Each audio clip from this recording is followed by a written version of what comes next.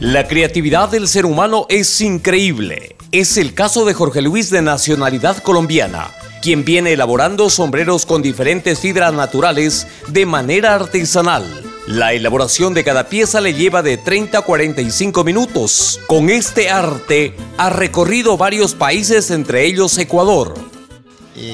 10, de 10 a 11 años elaborándolos eh, a nivel eh, Latinoamérica por Sudamérica, lo que es Brasil, Uruguay, Paraguay, Argentina, Chile, Bolivia, Ecuador, Colombia y bueno, ahora vamos a ir un poco más al norte, lo que es Venezuela, Honduras, pues donde Dios nos dé la oportunidad de poder exponer el arte.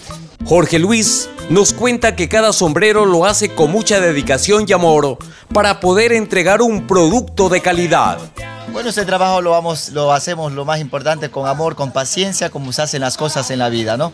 Ese es el, pro, el bueno, los factores principales amor y paciencia. Si te gustó este video, compártelo y dale me gusta para seguir haciendo más contenido. Nos vemos en el próximo video.